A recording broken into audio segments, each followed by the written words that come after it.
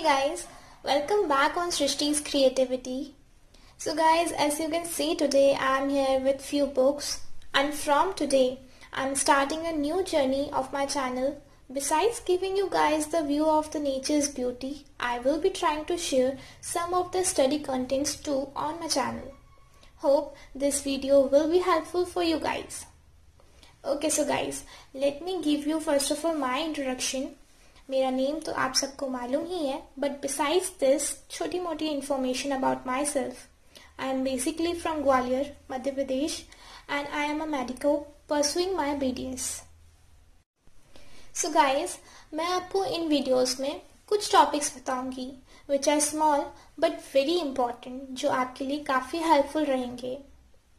तो आज की वीडियो में I will be just giving you थोड़ा बहुत introduction regarding B T S first year Okay, so basically we have four subjects in our first year that is DADH, Dental Anatomy and Dental Histology, second General Physiology, third Biochemistry and the fourth Human Anatomy. इसमें different different writers की आपको books available होंगी आप कोई भी writer की book ले सकते हैं जो आपके प्रोफेसर्स आपको गाइड करें या आपके सीनियर्स आपको गाइड करें The books which I had for my first year are this is B.D. Chaurasia's Human Anatomy which is for the dental students. Then for biochemistry I have Vasudevan's book. For physiology I have Samulingam.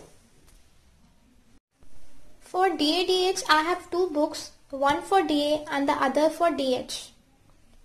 The book I had for DA is Wheelers and the book which I had for DH is Albans.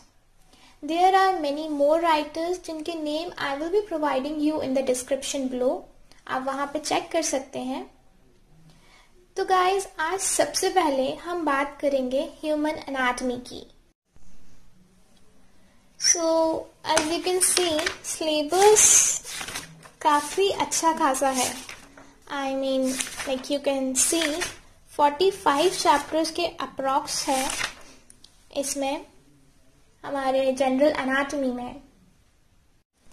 I am using the fourth edition of B D Chaurasia's book